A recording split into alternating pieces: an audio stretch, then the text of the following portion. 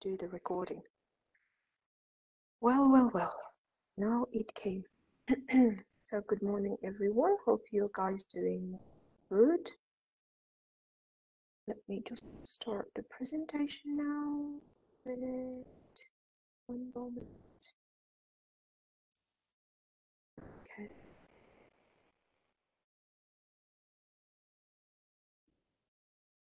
Okie dokie.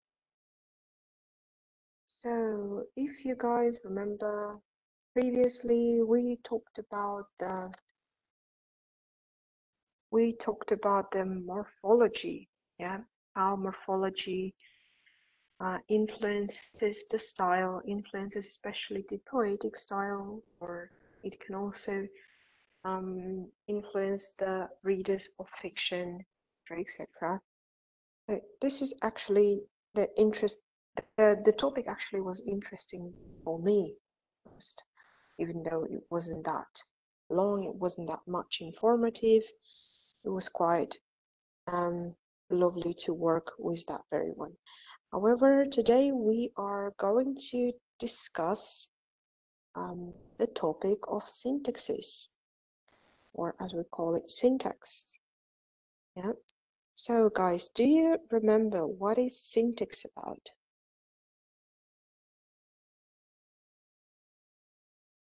What syntax is about? It is about grammar. yeah grammar Anyone? About the sentences? dear structure of the sentence. Anyone? Structure? Right? Anyone who would like to um would like to answer orally? because I I'm I'm not used to reading your answers, but I would like to hear your voices just to get some feedback from you. Well, let me ask some students. Look at it. Okay, Adema, what about you? How do you think what syntax is about? Adema Semitai, good morning. All right, seems like Adema is not here and she's not listening to the lecture. Well, okay, what about Timurlan Anwarbek? What do you think about syntax?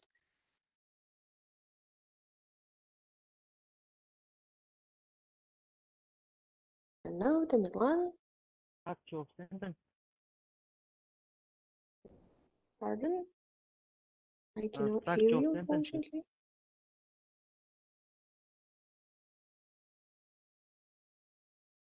Structure of sentences. Structure of sentences. Okay, thank you very much. Thanks a lot. Okay, guys, let me know if you hear me or not, or it is about the Milan's network. I hope it's not about my network. Can you hear me now? Yes, we can. Yes. Yes. Right. Okie dokie. So, um, that is quite an interesting topic, actually. So we will in in this week we will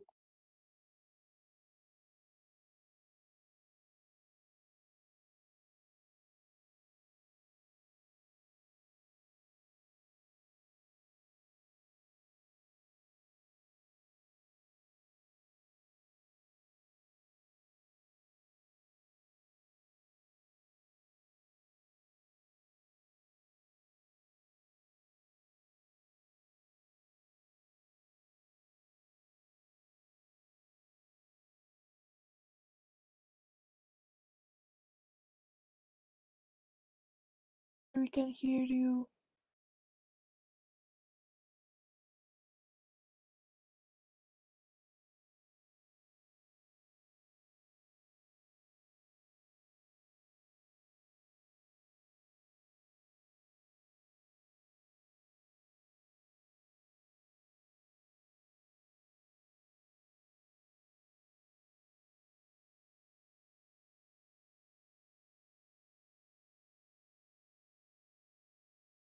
Can anybody hear me? Hello? Yes, now. Oh God, thanks God. It Seems like some something wrong happened to my network because I could not hear you at all. Okie dokie. So, so now this week we are going to have a look at the at the topic of phrases, clauses, sentences. It's going to be all going to be about syntax, uh, and we will have a look at the topics of coordination, subordination, and we will quickly discuss what is relative clause and poetic syntax. Actually, this is going to be interesting in my honest opinion because I'm I'm a lot into syntax even though syntax the topic of syntax can be a bit challenging for some I don't know I, I find I, I used to find it quite challenging uh, back at school. But I hope it is going to be fun and easy peasy for you guys because you're quite bright students aren't you? Okay so as we know all the words they exist in some kind of a relationship as we call them structural relationships. And what is that relationship is? So this relationship means the phrases. So when the words are in relationships they are built into phrases. For instance we have noun phrase. So it's like sarah or the enthusiastic lecturer. Yeah they are noun phrases and we have verb phrases like she read or she reads or she has read yeah. These are the phrases. We have different types of phrases noun phrases verb phrases ad- adjective phrases etc etc and if you have a look into the um into these examples like example noun phrases example as sarah an enthusiastic lecture, we see that in the phrase sarah the phrase that is being that the word the important word that is determining a phrase grammatical character it is the phrase itself sarah yeah and it is being the head of it. It is the head. We call him head yeah. And in the phrase the enthusiastic lecturer the word that is determining the phrase's grammatical character is the word lecturer. Yeah? And the word lecturer is appeared as the head of the phrase, galava. Yeah? Whereas the other elements that are um, added, uh, added to the phrase as the enthusiastic, they are called as dependents so in the phrase sarah there are no dependents. Dependents sorry. And in the phrase the enthusiastic lecturer lecturer is the head but in that very time it has dependence in the term of the deter determiner the the article the yeah and the pre-modifying adjective enthusiastic. So as we may see we have head independence. so head is the the most important word that determines the grammatical character of the uh, phrase yeah here. So that is why it, it the, these are the noun phrases because the heads in those um, phrases are the nouns. Lecturer and sarah they're both nouns. And therefore the for example here in that very phrase the enthusiastic lecturer the whole phrase is considered as the noun phrase. That is the very interesting thing, isn't it? The same with the um, the it, with the following verb phrases. Yeah, read and has read. So actually, read is the head um, in that very pose of the phrases, and has is the auxiliary verb. And just because it's an auxiliary verb, it, it is considered as dependent. So next thing uh, I would like to highlight is that the phrases always, they are built into clauses. and clauses are built into sentences. You may probably know what is clause, guys. So if you remember the basic grammar that you studied at school, according to the knowledge, what is the clause? What are the clauses? Let's say. Что такое Um, clauses? If I'm not mistaken, yeah. mhm. Go ahead, Nara. Thank you. If I'm not mistaken, uh, w- we have like clauses in like uh, compound or some uh, like this extra uh, sentences when we have two parts. Okay. Anyone else who may remember Yeah. what is clause? Thank. Yeah. If I'm not mistaken, clause is like of the words that contains a subject and a verb. Mm, absolutely.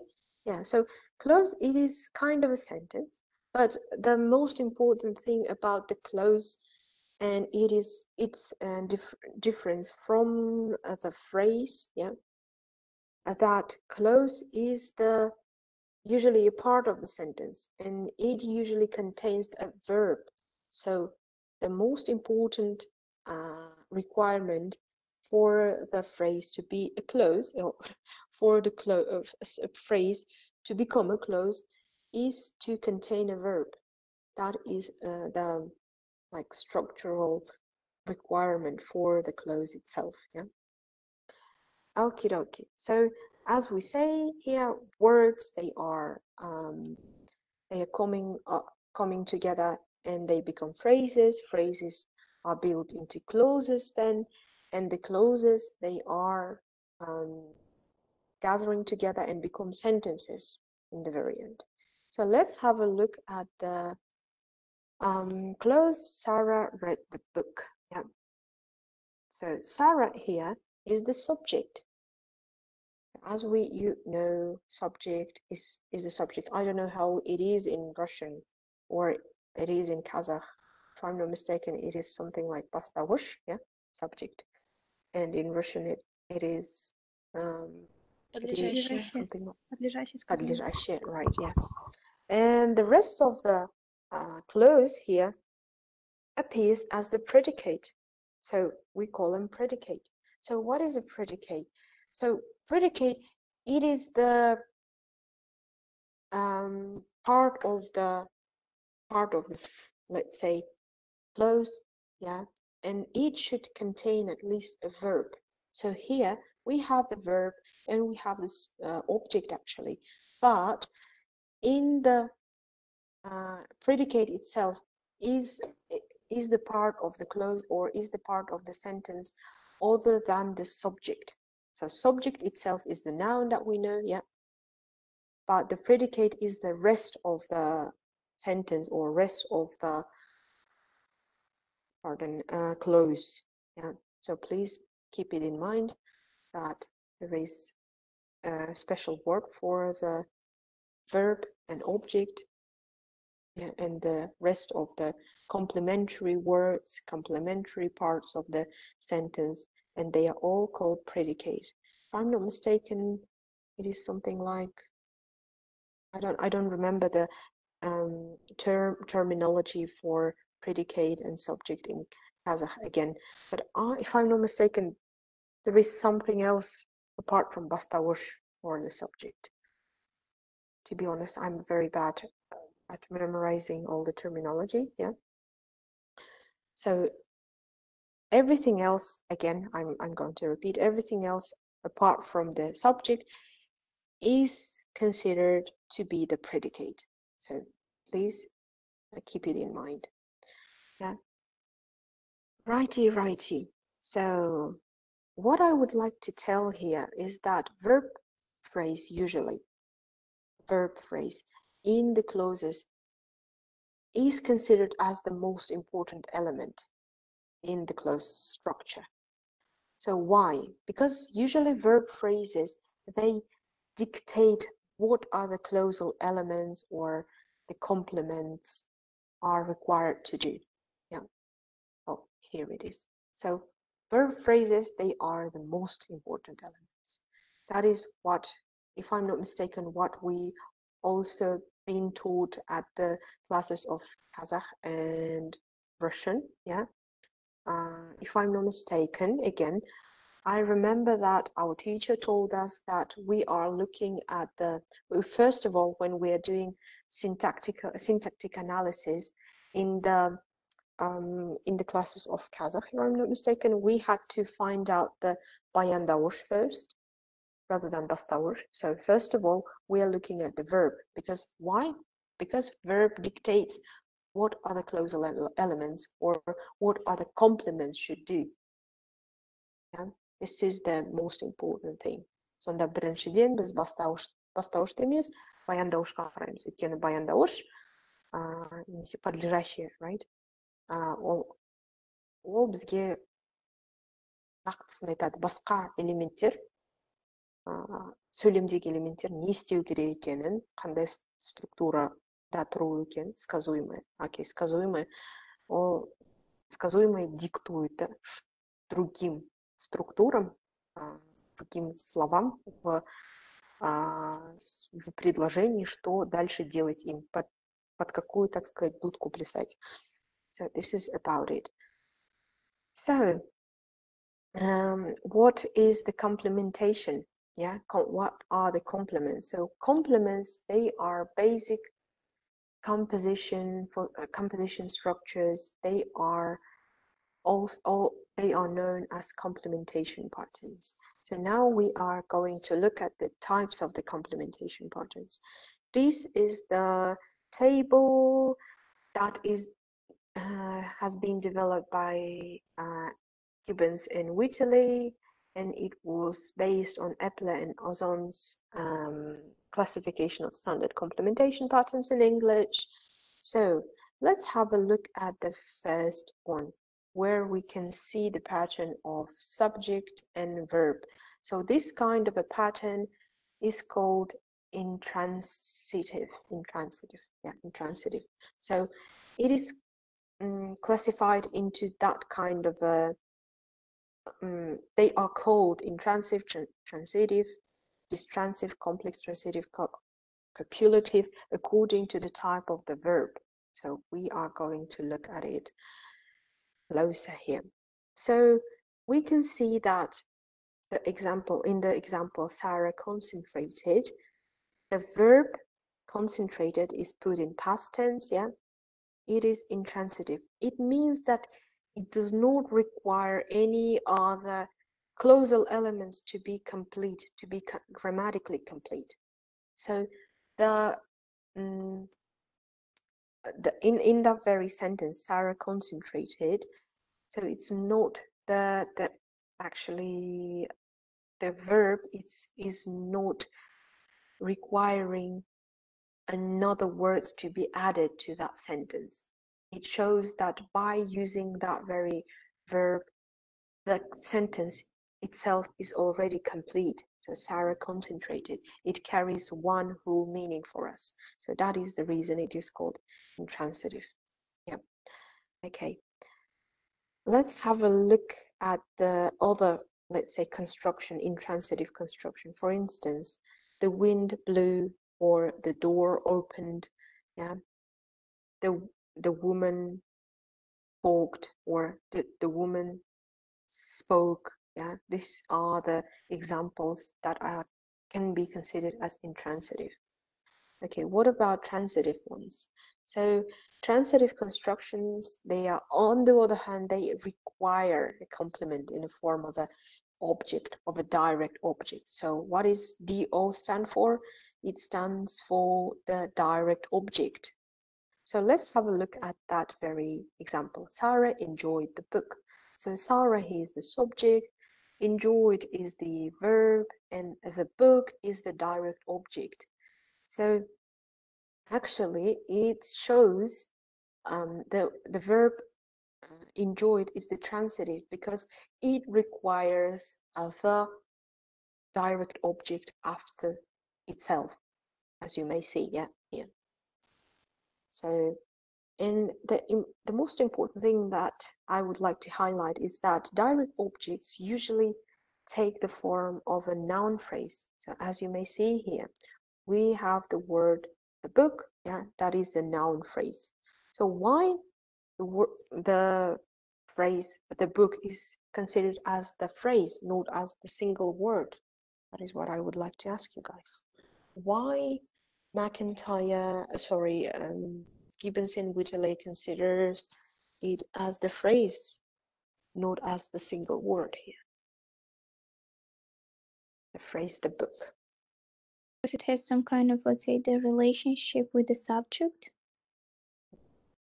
Okay, so um, that's not really about it, but thank you very much. And Ayjan gave a correct answer. She did. Uh, she mentioned the determiner. Yeah, well done. So actually, the determiner in the form of a um, definite article that is provided here, the book. So this is the reason it is it is considered as the phrase. Yeah as we as i have mentioned in the very beginning the words they are coming together they are gathering together let's say in order to build phrases. So if there are more than two words and they have one single semantics it means that it is a phrase yeah? Okie dokie. Let's have a look at the next detransitive one. So what is a detransitive one? So if we have a look at the prefix d, d yeah, actually structure require two object in detransitive uh, complementation pattern. So if we uh, if we have a look at the uh, at the let's say formula, we see uh, the abbreviation for IO. So what is IO? It is the indirect object. So if we have a look at the example, Sarah gave Ellison the book. Ellison is the typical indirect object here. So as the Ellison appears as the recipient of the action, so she is considered, the word Alison, let's say, is considered as the indirect object because she is receiving the um, so Alison, the word Alison is receiving uh, recipient, sorry, of the action that has been represented uh, represented by the verb gave. This is detransitive because it has two um, objects here, indirect object and direct object. Okie dokie, let's have a look at the um, let's have a look at this very example further. So if we have a look at the um, structure of direct object and indirect object, we can see uh, that both of them are expressed as noun phrases. Yeah. However, I would like to mention that sometimes indirect objects they are they can be embedded within a prepositional phrases. So uh, when they are embedded in that very sense, they may alter the order of clausal elements. For instance, uh, we can rewrite that very uh, sentence, Sarah gave Alison the book, into Sarah gave the book to Alison. So that is very interesting thing when we are um, making some kind of a some kind of structural changes or orderal changes into to the when we're applying orderal changes to the sentences we can use the prepositions yeah and it appears that the prepositions change the order of the sentence or of the um, of the phrases in the sentences. So sometimes indirect object may go to the end as in the sentence, Sarah gave the book to Alison. It is still can be uh, can be considered as detransitive because we have two objects in the sentence. Okay, what about the complex transitive verb? So actually complex transitive verb also requires uh, two elements in the sentence or in the clause. Uh, the first thing that I would like to say is that direct object, um, the direct object and the object complement that is uh, being highlighted as OC, they are mm, they are being a part of the complex transitive verb here. So as you may see, apart from subject plus verb, we are using direct object and object complement. So what is the object complement here? If we have a look at the example, Alison thought the book boring. So the word boring, it is describing Alison's feelings about the direct object or about the book yeah, itself. So here, uh, the word boring is being as an object complement phrase because it's complementing the feelings of Alison regarding the book, regarding the direct object. This is about it. Okay, um, let's have a look at the final verb type. type. It is compulative construction. So actually this uh, pattern is relying upon the copula, copula to be and it is um, its uh, related forms as is and are or was. We we use them as the main verb rather than auxiliaries usually. So here yeah am is are yeah and was were or as an example is here is not considered as the auxiliary verb but is considered as the main verb so this is about the copula. So that is the reason we call it copulative. Okay, uh, however, sometimes um, we may also um, consider the, the, verb, the usage of verbs of, of become, seem, and appear as the copulative structure also for some reasons.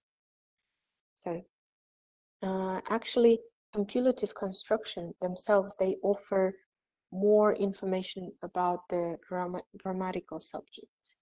And because of that, the close elements that they insist upon is considered as a subject complement. Yeah, for instance, um, Alison is bored. So um, bored here attributes to the property of the subject Alison. So word is not about the book now. Word is about Alison, about the subject here.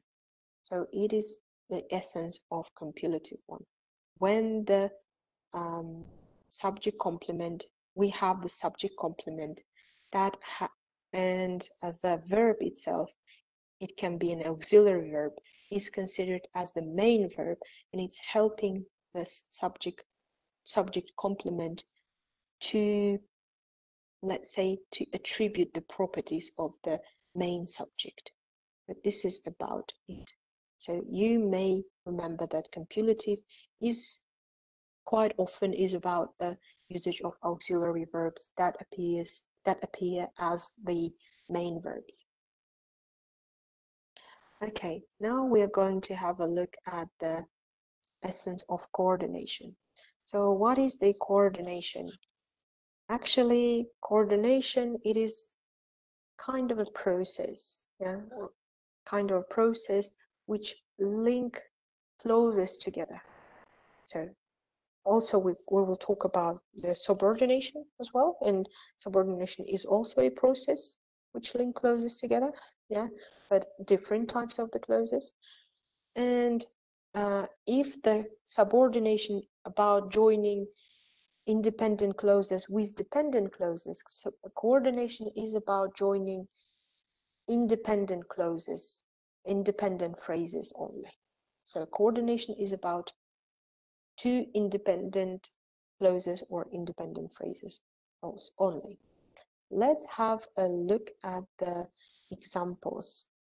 So we have in A and B, we have two sentences, two independent sentences, two fulfilled complete sentences. Uh, Sarah enjoyed the book or Alison was bored. But if we have a look at um, C, the example C, we can see that uh, sentences, independent clauses A and B were joined together in order to accomplish the process of coordination. Yeah? Sarah enjoyed the book, but Alison was bored. And here, um, the conjunction but is coordinating them. So the usage of any kind of conjunctions, they are um, helping the independent clauses or independent phrases to be joined together. Yeah, so very interesting thing I would that I would like to say that usually the conjunctions that we use every day, like and for, so yet, or they are typical uh, identifiers of coordination. They are markers of coordination. So when you see uh, these um, these conjunctions, yeah, any kind of conjunctions, it says uh, a lot about the sentence itself. It says that the sentence used the process of coordination in order to be joined together. So And now let's have a look at the types of coordination. So we have several types of coordinations. And when the, uh, the sentences um, join together through the usage of lexical markers as conjunctions, we call this type of coordination as syndetic. Yeah? But when we when the coordination occurs without any kind of uh, lexical markers, but it uses some kind of means as punctuation, like commas or I don't know, ellipses. We call them asyndetic coordination. So let's have a look at the example here. Example is taken from the uh, young adult fiction that is called We Were Liars by Emily Lockhart that was published in 2014 and this is the opening line to the young adult fiction so please could let's say could not read it for us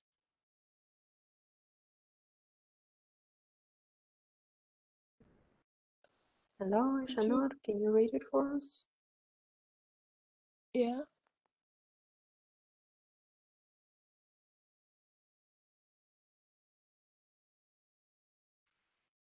Hello, we cannot hear you, unfortunately.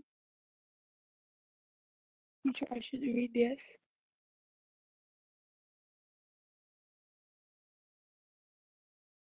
Okay, seems like Aishanur's internet is quite poor.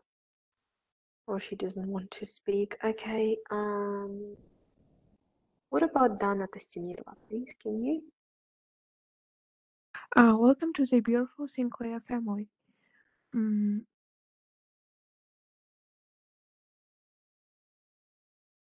Yep. Can you please read the whole opening line?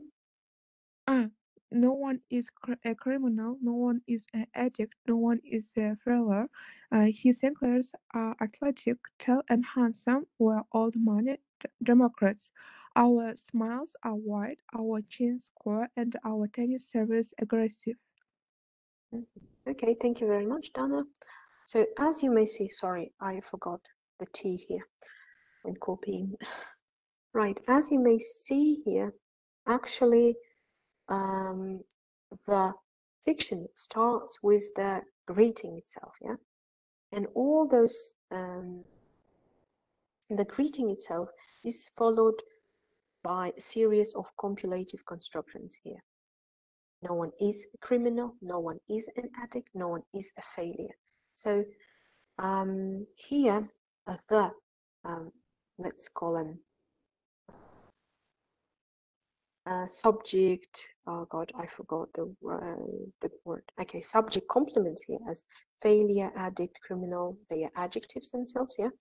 They are complement complementing the subject no one. So no one here is the subject and auxiliary verbs is is is appears as the main verb here because the main verb actually helps um, the complementary subject complement uh, complement to define uh, the uh, subject the main subject themselves so this is the the example for the um, for for the compulative constructions here. So actually they are all kind of a simple sentences if we have a look at it. That is a very interesting. And the the casts no on as the subject is used in order to negate the subject complements. And if we have a look at them, all the subject complements here are considered as undesirable attributes. So criminal, addict, failure, they're all some kind of a negative ones, right? And no one is used in order to negate them, in order to show that those negative, undesirable attributes are they are lack of those uh, negative attributes. So it means that the members of Sinclair family, they are like model citizens, that they are some kind of successful individuals, that they are such a lucky people, etc., etc. Very interesting that look how Lockhart used um, um, compulative constructions, compulative sentences, and compulative let's say, simple sentences to tell us about the Sinclair family here. Well, let's have a look at the coordination here. What is about coordination? Well, we now know that they, uh, this, the family of Sinclair, they are wonderful people, yeah, they are very role model people. And if we have a look at the following sentences, the Sinclairs uh, are athletic, tall, handsome, and blah, blah, blah, we can see both asyndetic and syndetic coordinations in use. So here, athletic, after the words athletic and tall, we can see the punctuation. So when we use punctuation, we know it is an asyndetic coordination. And also the conjunction in a form of and is all, all used as well. So this is the syndetic coordination. Yeah? This is the example so you can know what is syndetic and asyndetic. When the conjunctions are used, it is the syndetic. When the punctuation is used, it is asyndetic. So um, the same actually um, about the next one yeah our smiles are wide our chin square and our tennis service serves aggressive. So it is also about the syndetic and asynt combination of asyndetic and syndetic strategies. Yeah, we see uh, the commas after wide after square yeah this is the asyndetic construction and usage of conjunction here is also this uh, it's is a syndetic one, is a syndetic strategy. Okie dokie. and I would like to conclude that the usage of conjunction and and use of commas, they coordinate the subject complements in the form of adjectives here. We can see the quite several adjectives here, yeah, as wide, square, aggressive, and they are being uh, coordinated in um, in the subject in the, uh, they coordinate uh, they are being uh, coordinated to the subject complements with the help of these conjunction and commas. That is very interesting thing I found out from the examples for you okay let's have a look at the Next one. So we also have a polysyndetic coordination. It is the third form of coordination. And Polysyndetic coordination involves the significant repetition of the conjunction. Usually it is the conjunction end. yeah. So when the conjunction end is being repeated over and over again, it is believed that it helps to coordinate elements of the phrase or elements of the clause or elements of the sentence itself. Let's have a look at the example by Cormac McCarthy in his fictional uh, masterpiece, The Road, published in 2006. If anyone from the okay, okay, Qaisar, would you please read it for us? By the way, welcome, Qaisar. Haven't seen you for ages. Qaisar Banura, please, could you read it?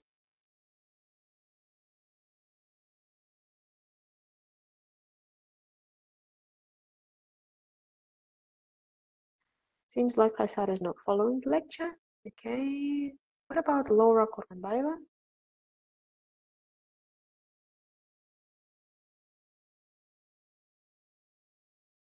Teacher, could you repeat what is polysyndetic coordination? Mhm. So polysyndetic coordination is when the conjunction, yeah, especially conjunction A, is being repeated over and over again. So it is the repetition, significant repetition of a conjunction.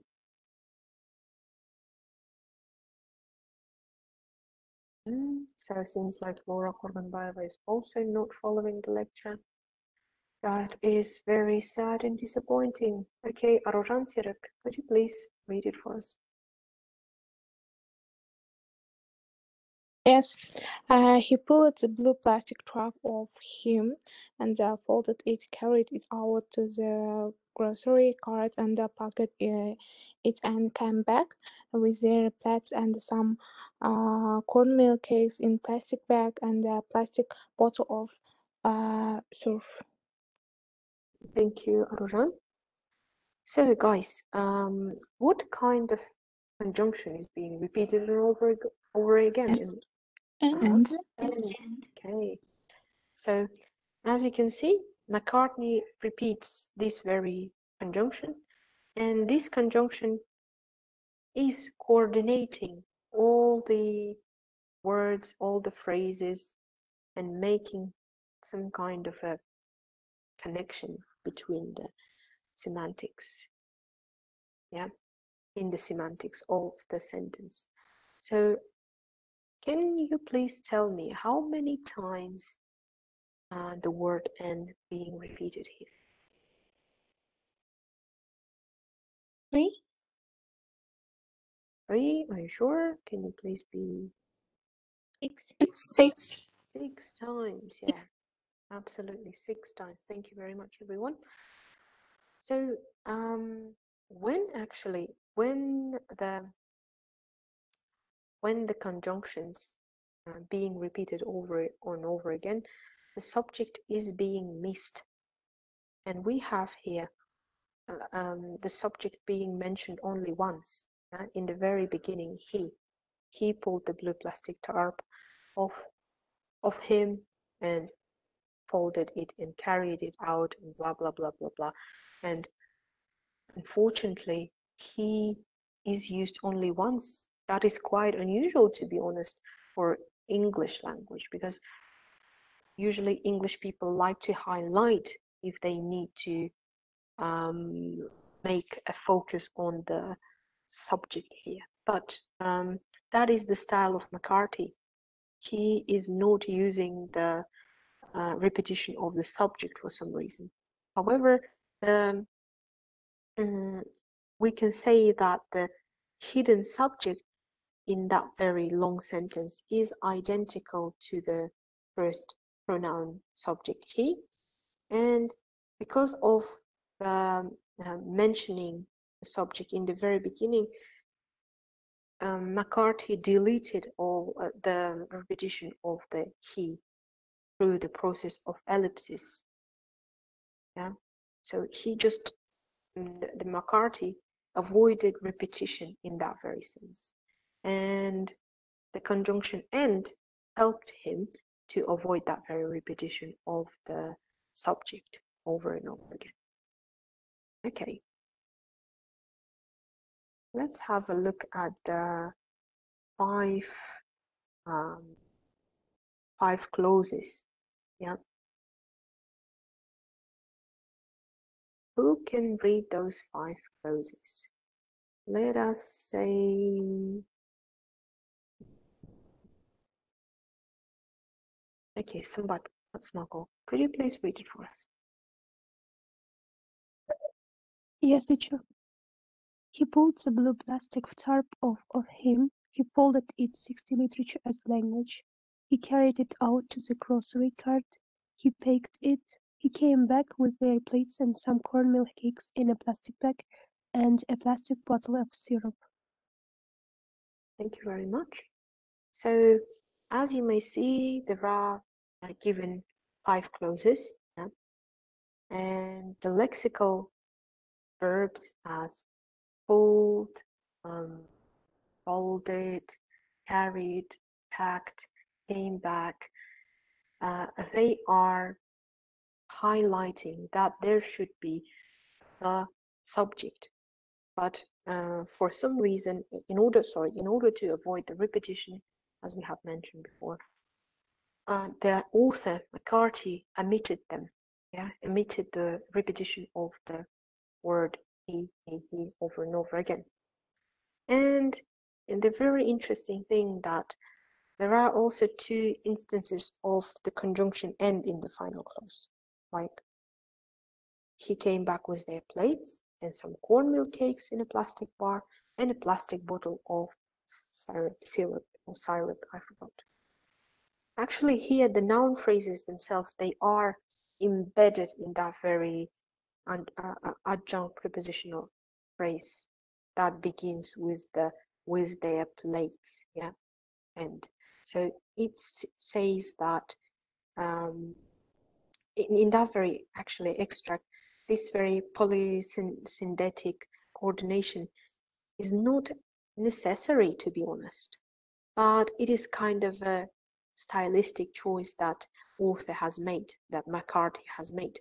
So he wanted to make the effect on the reader. So the effect in his instance is to make the emphasis on the boring, mundane life of the character. And he wanted to show that he was um, making that very, making the mundane actions over and over again. Yeah, folded, carried, packed, and the conjunction n is helping us. The polysyndetic, polysyndetic structure is helping us to highlight it, to show the reader, um, to to to show the reader through the emotional experience uh, that the life of the main, the lead character in that very uh, post-apocalyptic world is quite is quite usual, is quite boring. Yeah? Nothing special happens in his life. This is about it. Okay, guys. Um, now we are going to have a 10 minute break, and after the 10 minute break, we will come back to the topic of coordination. Yeah, and we will discuss the subordination as well. Okay, see you in 10 minutes.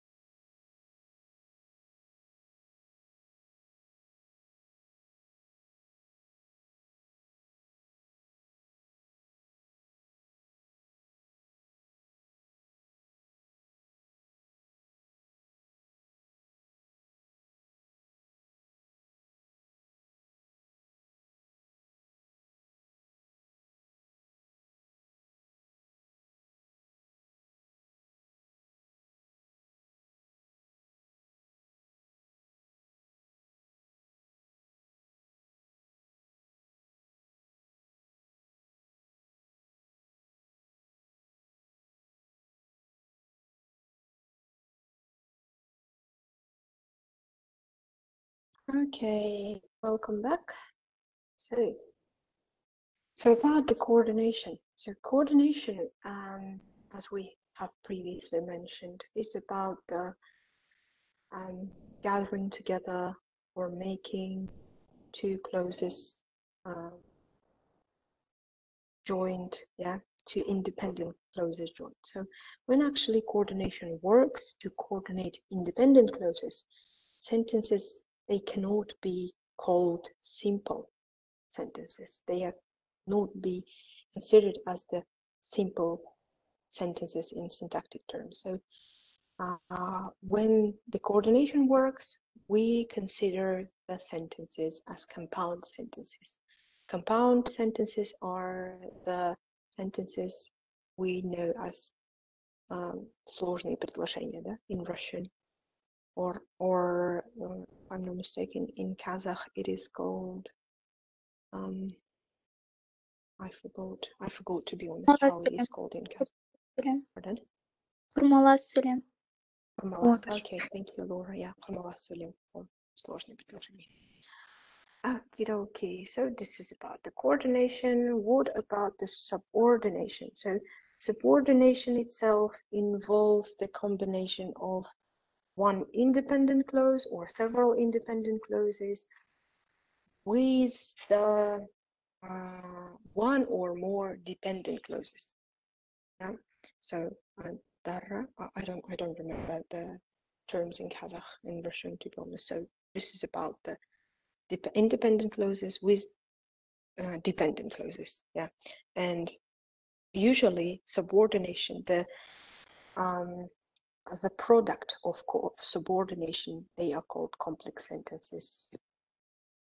Okay, let's have a look at the uh, sentences, the examples in the sentences. Indeed, although Sarah enjoyed the book, Alison was bored. So, what is so interesting? So, like in compound sentences, the the complex sentence here, the complex sentence D, will contain two clauses. Yeah. However, in these examples, they the both clauses they have own subject and verb element, but yeah, what kind of however we have here? Why it is considered complex, not compound one? Well, because the first clue here um, has uh, con- actually contain subordinating conjunction as also. So that very also makes the first clause dependent, let's say. Yeah. Uh, they introduce dependent or subordination because itself the clause although sarah enjoyed the book cannot be independent itself it cannot stand alone whereas the second clause alison was bored is considered as independent because it can stand alone it can carry the whole complete meaning when standing alone. While uh, with the although sarah enjoyed the book it will not work. Or with the second example because big things are cool also it will not work. So the two sentences. The two closes also sarah enjoyed the book and because big things are cool they are considered as dependent one. And the alison was bored and students like big words. These are two clauses that are considered as independent clauses Yep. let's have a look at the example again. Yeah all right. So i actually have already told you about it. So um, in, instead of saying dependent or uh, or independent clause over and over again, you also can use the terms as, as subordinate and the main clause. So Alison was bored, he is the main clause, and Sarah, uh, although Sarah enjoyed the book, is the subordinate clause. So that, uh, зависимый независимый, я не знаю, как на русском будет, да? Я уже забыла если қазақша м, шыны керек салалас сабақтас я уже забыла құрмалас қандай екендерін есімде жоқ сол үшін примерно может вы помните да как что Okie dokie. so uh, we first of all, in the very previous one, yeah, talked about the identification of the sentences. That we identify the clauses, the, the sentences, looking at the verb. And when we identify the complex sentences, the same thing, the same, uh, let's say, principle works well as well. So when we are finding out, trying to find out or trying to identify a complex sentence, we can have a look at the verb form. So we have three, um, let's say, three types, three methods of identifying um, sentences. Actually, sometimes subordinate clauses, they often contain non-finitive verbs, yeah, according to Eppler and Ozón. And uh, Eppler and Ozón, they identified three varieties of the verb form. So first of all, it is when uh, we have infinitional form or base form, yeah, when we use to, yeah, or we do not use to sometimes. For instance, I asked him to leave or I made him leave. Here it is some kind of a base form. The second, for, the second um, way, the second, let's say, um, type of the verb form is the ed form when we use participle, second participle. For instance, intimidated by Pauline, he left. So here we see that intimidated is, um, let's say, is being is being used in order to highlight the complexity of the sentence. Or let's have a look at the third um, third third type of the verb form is ing form, or as we call it, gerund. Leaving the party made him sad. So actually, um, subordinate clauses, they can omit the verb. For instance, if we have a look at the second uh, example, yeah, intimidated by Pauline, he left. But we can say Pauline left after Jack. Yeah, so uh, here ellipsis takes the place in the second instance, but uh, the conjunction after brings the clause to our attention, like after Jack. Yeah. So it is um, it is quite an interesting observation here that uh, that sometimes we can um, we can tell about things, we can talk about things without using the verbs sometimes. Or for instance, um, let's have a look at that very interesting one. Um, only a child, eight-year-old Einstein was very clever. So here, only a child. What do you understand by the dependent clause, only a child? What does it mean here? What kind of verb was omitted in your opinion? Only a child, eight-year-old Einstein was very clever. You can find you cannot find it on the on on on on the PPT. I'm just telling it to you all. He was an only child in his family. Mm, absolutely, yeah. Being an being an only child in the family, yeah. Eight-year-old Einstein was very clever. We can say in that very sense.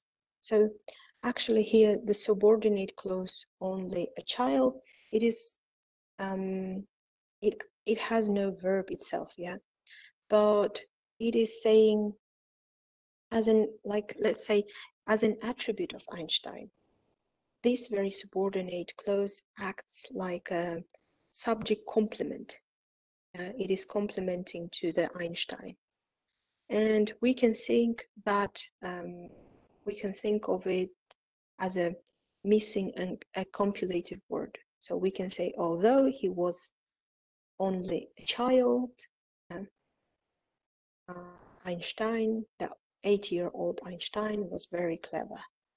So in that very sense. So quite interesting.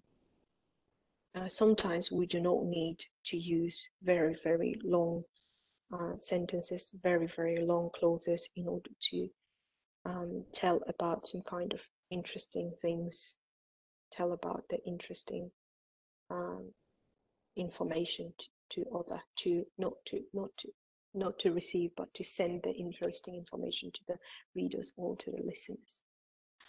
All right, second um, example. Leaving the party made him sad. So here, living is the subject, made is the verb element, him is the object, sad is the object complement.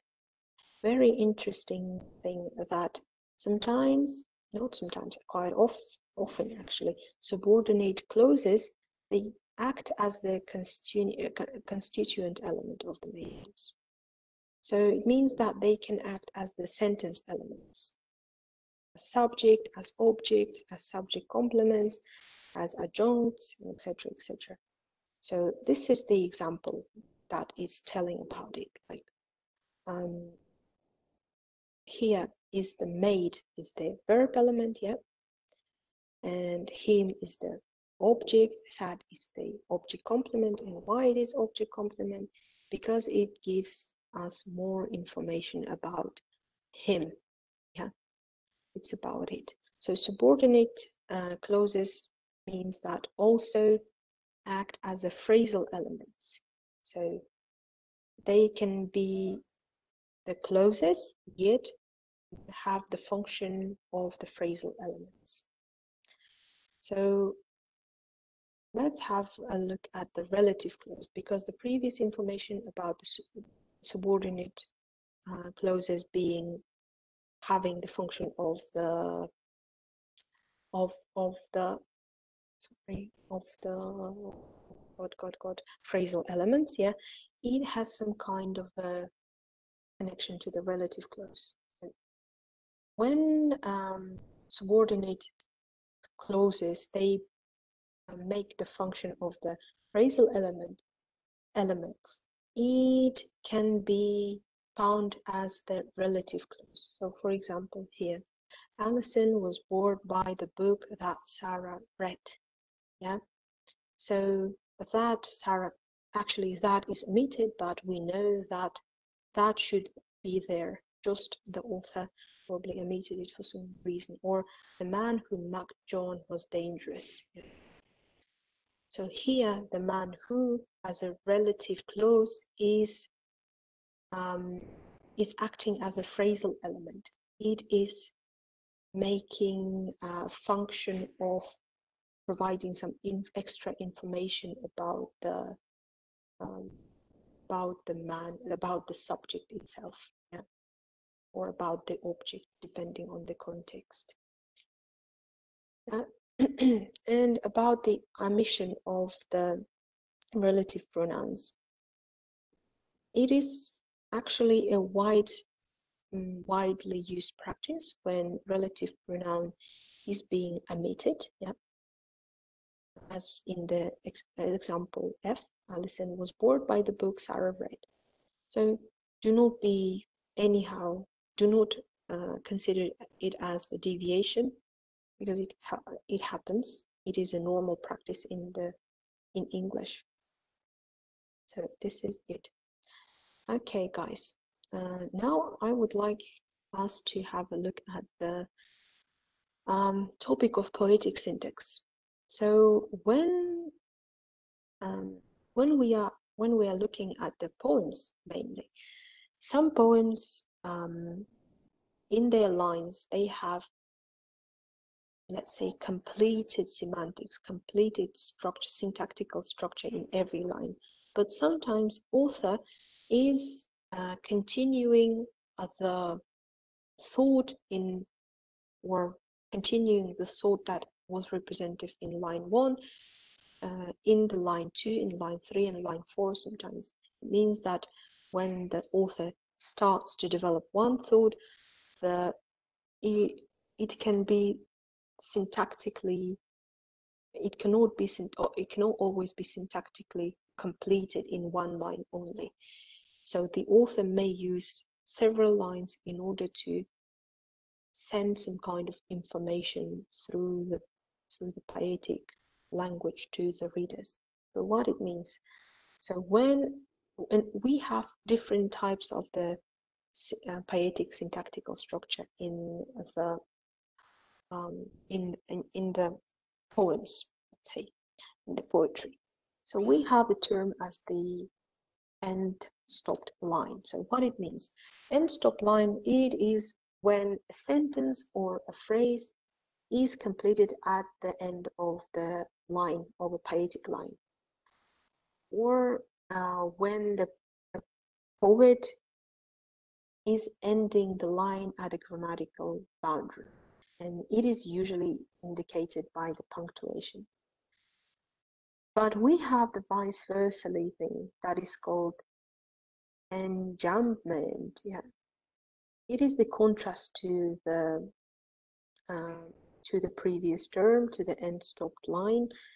Enjambment, it is when the line, the, the semantical, the syntactical, uh, syntactical, let's say, meaning of the uh, of the poetry continues throughout the several lines. When the run-on lines continue the syntactic structure from one line onto the next, to the second line, yeah, the second to the third, and etc. etc. That is being followed over and over again. It is called enjambment. In one word, let me put it in Kazakh. Um, сонда ақын бір uh, бір сөйлемді бір лайн емес екі үш лайнға созғанда ол enjambment. Ал бір сөйлемді бір ақ лайнда жауып тастаса бір ақ лайнда бітірсе ол бізде болады end stopped line. That is the difference, main difference about them. Okay, also we have a double syntax. Actually, double syntax is when sentences, they are enjambed, yeah, and readers may find it quite difficult to construe the syntactic use of a word at the moment. The salga. Okay, let's have a look at the example and you will actually understand it. So we have the example here. It is the mm, it is the poem by Matthea Harvey and it was published in, uh, in 2000. Uh, and it is called the poem called in is called in defense of our overgrown garden. So if you have a look at the line one, yeah, last night the apple tree shook and gave each lettuce see a heart. We can see that this very line is end stopped. We do see that both semantically and syntactically the line is uh, close, let's say, that the line is not, the sentence is not requiring uh, some kind of a continuation. And in line two, it offers, yeah, uh, line two offers the explanation to the metaphor that has been used in the previous uh, line. The six hard red apples broke through the greenhouse glass and landed in the middle of those ever so slightly green leaves. As you may see, we have in the uh, end of the line two, we have a conjunction end. And the conjunction end tells us that the sentence, uh, whether it is a complex or compound sentence, hasn't been ended yet. So this is enjambment. Hope you got it. And if we have a look at the uh, line three, so line three is actually appears to be end stopped here, landed in the middle of those ever slightly green leaves. However, uh, the um, end stop, but the next line, next line, line four, yeah, it continues the sentence with the post modification to the noun is a relative clause that. So if you look at the line three, it seems like it has been ended. But however, line four is continuing the sentence by using uh, the relative clause that, as you may see. And the very interesting thing that you will see the double syntax uh, in the transition from line four to line five. That seem no mix of seeds and soil, but pastel and light and chalk, X marks, or our oaks that are supposed to be cut down. So it seems like as if um, when you will be reading the poem yourselves, you may find out that it seems like for line four and five they are enjambed, but if you read it quite carefully, you will find out that line five itself has a, is quite independent itself. So it can it, it is a kind of a tricky thing in double syntax.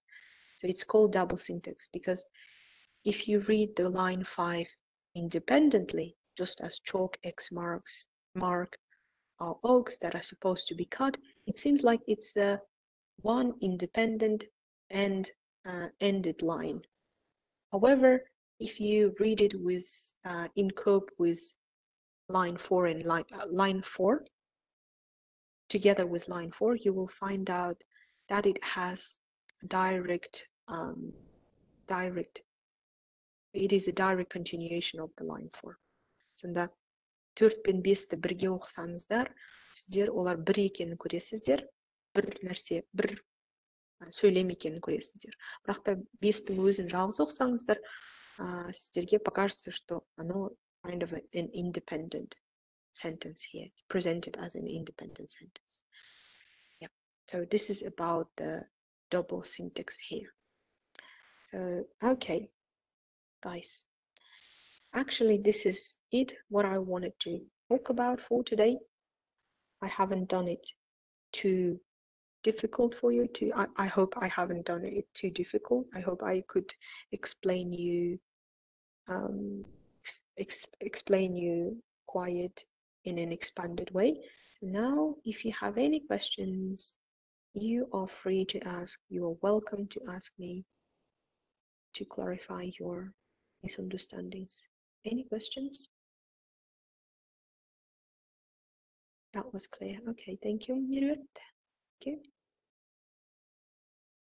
Everything is clear, but I have a one little question. So, coordination is subordination uh, are the same things, yeah?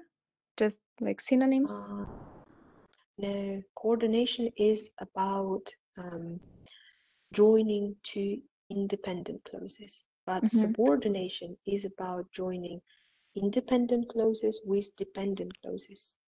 Ah, subordination. Ah, uh, to form complex sentences, yeah? Yep, to form Uh, complex coordination to make compound sentences. compound sentences. Yeah. Ah, yes, okay, clear. Thank you.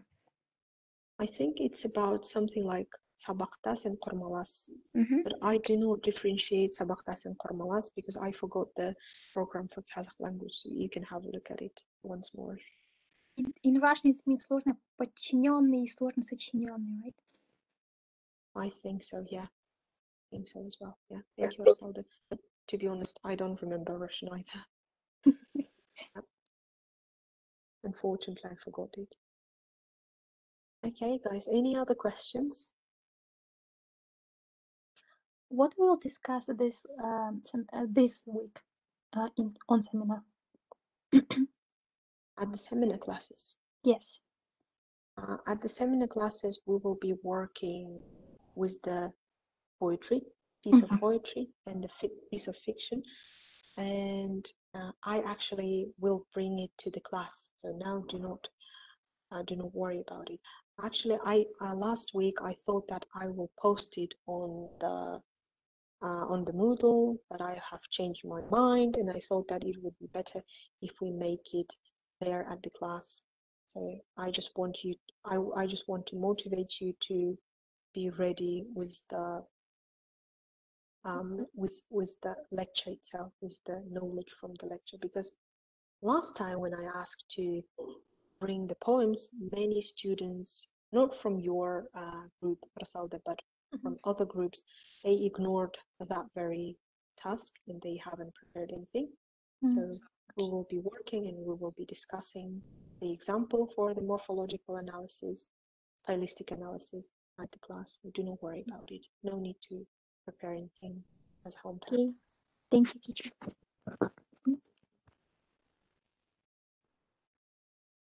Okay. Right, guys. It was lovely to talk to you. Let me know if you have any questions, but before, and thank you very much, of course, to, to join the meeting, for joining the meeting. If you have any other questions, you can have the, at the books, especially the books of Gibbons and Jeffries. They have wonderful explanations. And yeah, thank you very much, Griselda. Have a nice day as well. Those who are coming to the seminars today, I'll see you today. Yeah, have a lovely day. Take a good care of yourselves. Bye bye. Bye bye. Goodbye, teacher. Bye.